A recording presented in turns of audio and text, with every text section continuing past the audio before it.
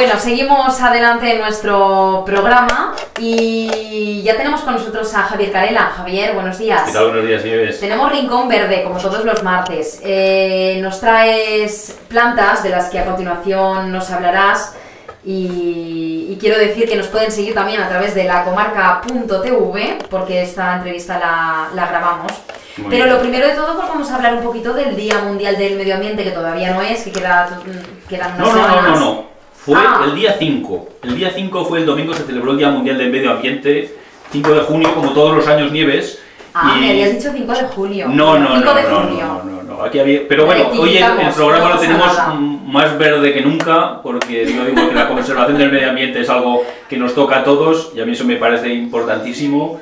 Y yo creo que ya se Bueno, pues cuéntanos, cuéntanos eh, Sí. cómo se ha celebrado este medio ambiente. este Pues es el, segundo año o el tercer año ya que hablamos de- en estas fechas precisamente de este Día Mundial del Medio Ambiente, que bueno, es un día que organizan las Naciones Unidas y por eso tiene una repercusión a nivel internacional importantísima. Es uno de los muchos días mundiales de algo que se celebran, pero para mí es uno de los más importantes y eso se está revelando cada vez más por todos los problemas que conocemos de cambios climáticos y lo que conlleva para nuestra propia supervivencia, que es algo que no tenemos que olvidar. El medio ambiente es precisamente lo que a nosotros nos permite vivir en este planeta, que hay muchos planetas, pero la mayoría son piedras inmundas, estériles y no, que no hay manera de hincarles el diente. Este, el nuestro, tiene agua, tiene un rango de temperaturas adecuado, estamos a gustísimo y con él tenemos que convivir todo el tiempo que podamos, señores. Día Mundial del Medio Ambiente organizado por las Naciones Unidas.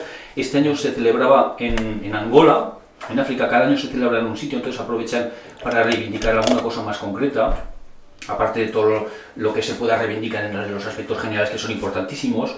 Angola es un país africano que ha sufrido durante 25 años una guerra civil terrible, que está intentando prosperar en la medida de lo posible después de esta guerra civil y que también ocasionado por esto ha tenido problemas medioambientales gravísimos, tiene una fauna y una flora espectaculares.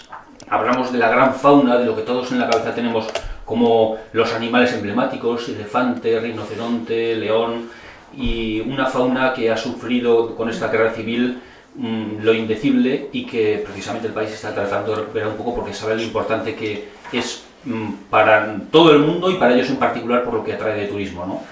El lema precisamente tiene que ver un poquito con todo esto. Todos los años hay un lema en el Día Mundial del Medio Ambiente y este año dice, el futuro de la fauna silvestre está en nuestras manos. Y esto es impresionante. A mí me, me, me parece importante darnos cuenta de que está en nuestras manos. Siempre todos tendemos un poquito a echarle la culpa a otro, a que sea el otro. Yo- todos somos muy ecologistas, muy verdes, todos preservamos el medio ambiente y parece que intentamos tranquilizar nuestra conciencia, pero señores, está en nuestras manos, en la de cada uno. Y continúa la, la frase y dice, la delincuencia organizada está impulsando un tráfico de fauna y flora silvestre con consecuencias fatales. Y habla precisamente de eso, del del tráfico de marfil eh, del elefante africano, del cuerno del, del rinoceronte que está haciendo estragos en las poblaciones de rinoceronte africano. Hay de hecho algún rinoceronte en el sudeste asiático que alguna subespecie del rinoceronte de Java se ha extinguido en el año 2011.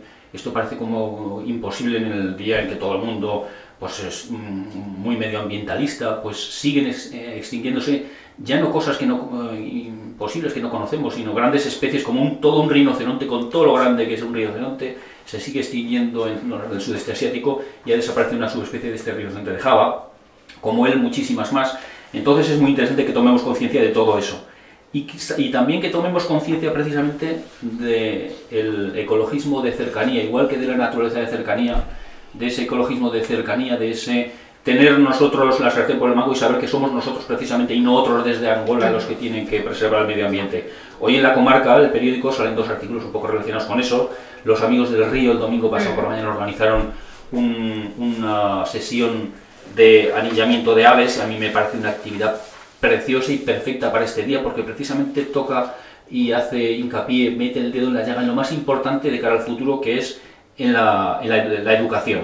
Los eh, eh, amigos del río han organizado esta jornada precisamente para los niños, para, para que sean ellos los que vayan tomando conciencia, porque los que ya tenemos un poquito el pelo blanco, pues a lo mejor somos un poco pellejos y nos cuesta modificar más nuestras costumbres, pero si empezamos por ellos, por los niños, es precisamente donde tenemos la salvación del planeta en nuestras manos. Organizaron por ello una sesión de anillamiento que es algo también muy visual, muy palpable para los, los, los niños jóvenes, para, porque se ponen unas redes, un ornitólogo, en este caso pues Santiago Sácar, eh, que, sabe hacer todo esto y lo sabe hacer muy bien, colocó unas, redes y cogieron a, a, primeras horas de la mañana unos, pajaritos, que fueron más de 30, entre ellos había currucas, estorninos, mirros, roseñores, jilgueros, había toda una serie de pájaros, todos los niños los ven, los tienen en las, manos con mucho cuidado, les toman medidas, ven lo importante que es conocerlos y además eso es algo que a ellos les, les entra muy bien por los ojos y se quedan impresionados, la verdad.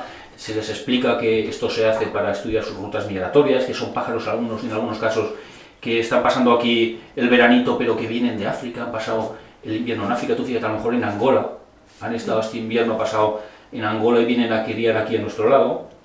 Todo esto a ellos les gusta mucho y logramos con eso educar eh, su conciencia cívica y su conciencia verde. Incluso, fíjate, ocurrió una cosa muy, muy interesante, muy curiosa, que es que cayó una familia entera de mitos. El mito es un pájaro pequeñito, muy pequeño. Es un pájaro que va, es, tiene una colita muy larga, es casi todo plumas. Si le quitas las plumas quedaría el pobrecito en, en, en nada. Y es un pájaro muy simpático, eh, que, que chip, chip, chip, quitas muy poquito, y van en familia ahora. Y cogieron al papá, a la mamá, y a los siete u ocho pollitos todos juntos cayeron en las redes, los, los, los, cogieron con mucho cuidado, se les puso la anillita y se les volvió a, a soltar, soltar, porque sí. eso es lo último que se hace y los niños lo ven, uh -huh. los tienen las manos, los sueltan ellos mismos y es algo que me parece precioso. La otra actividad, no me quiero enrollar demasiado, es la que organizaron los amigos del río Bergantes, el Bergantes no se toca, la asociación está de Agua Viva, Mar de las Matas, que intenta preservar nuestro río Bergantes, eh, y todo lo que eso conlleva del, de las actuaciones que se mm, en momento determinado se intentaron hacer con la forma de una presa, eso de momento está paralizado y precisamente este es el primer año que se celebra este Día del Bergantes no se toca con esta característica. Han logrado ellos en primera instancia que se paralice la construcción de la presa y eso es una buena noticia para el río Bergantes y para todos nosotros, creo yo. Y entonces hoy era un día para recordar, para estar alertas, para celebrarlo, hicieron fiestas, hicieron incluso con algún concierto Festival, sí. y, y, con eso pues están alertas para que esta paralización no sea solamente momentánea. Solo una cosa, porque se nos va el tiempo, Javier. Eh, háblanos un poquito de estas plantas que nos has traído hoy, que no quiero que te las lleves sin hablarnos de ellas. Bueno, ahora ya vamos a la jardinería, a lo nuestro también. Y he traído una pareja de portulacas porque es una, es una planta que se me hace muy veraniega, la portulaca. Además tiene la connotación de que hay un pariente suyo silvestre que nos sale por los huertos y que es un poquito molesto, porque es una mala hierba de huertos, a veces también de macetas, que sale, es comunísima en nuestra zona, en, en nuestra zona se llama verdolaga, es sí. una planta que tiene también algunas propiedades medicinales y se, se puede comer, que eso es muy interesante, pero las de jardinería, aparte de que se puedan comer, que aunque tiene un sabor así muy mucilaginoso, se llama un poquito pastosillo, tiene unas flores multicolores de colores multicolores, vivos. eso iba a decirte, cada flor es de una manera. Sí, sí, sí, En la misma maceta hay, hay alguna bibliografía que he leído yo, es muy curioso, es un error corriente, dice, son plantas que son capaces de, en la misma planta saca varios colores de, de flores. Sí. Y eso no es cierto hay un pequeño truco que consiste en que, en que, en estas macetas de, de, venta de portulaca grandiflora hay varias semillas, entonces hay varios pies y cada uno tiene, tiene su, su, propia, su propio color de floración. Y en esta otra que es un desqueje también hay tres esquejes en la misma maceta, en este concretamente pues hay uno, sí. uno de color rojo, otro de color sí. naranja y otro de color amarillo. Bueno, les invitamos a verlo en la comarca.tv. La verdolaga es una verdolaga. planta fabulosa, hmm. la portulaca es de verano, es súper resistente al calor, súper resistente a Uh, el abandono incluso no tiene plagas, eso me parece algo importantísimo. Es colgante, se emplea también en rocallas. Es una planta muy de verano. Eh, el único problema que tiene es que sale muy tarde al, al, mercado porque como le gusta tanto el calor y el verano, hasta principios de junio no logramos que esté un poquito comercial, un poquito así en flor. Sí. Ahora ya lo está. Le gusta tanto el sol como que ahora ya se han cerrado, fíjate, en el trayecto del vivero a, a, a los estudios, la flor de la verdolaga que he traído en maceta este, permanece cerrada. Yo te aseguro, créeme, que en el vivero estaba completamente abierta al, al sol, estrellada y fabulosa. Aquí, eh, de tenerla un poquito en el coche y meterla en el sí. estudio a la sombra, se nos ha cerrado. Bueno, es una planta muy remolona. Mm, le gusta el sol. Y entonces cuando no hay sol ya dice, uy, ¿qué pasa aquí? ¿No? Y sale tarde. Sí, sale tarde y dura todo el verano en flor. Sí. Es fabulosa, muy resistente y muy adecuada. La verdolaga la podrán ver en la comarca.tv y con esa pequeña reflexión, o amplia reflexión, mejor dicho, de, del Día Mundial del Medio Ambiente que se celebró el día 5, pues nosotros nos despedimos por hoy con este Rincón Verde y esperamos a la semana que viene a ver qué nos cuenta Javier. Javier Carela, gracias, Gracias. por acompañarnos. Gracias a ti. Buena semana.